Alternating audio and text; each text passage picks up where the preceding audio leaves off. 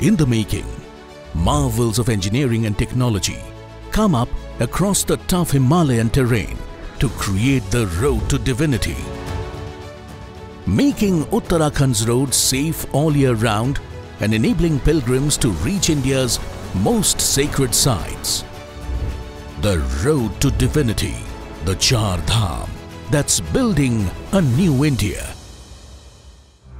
The entire Himalayas is a basically a folded mountain and it is formed because of the plate tectonic movement where the Indian plate has moved over the, the Asian plate. Now this entire strata not only has got folded, it is also moving northwards uh, every year.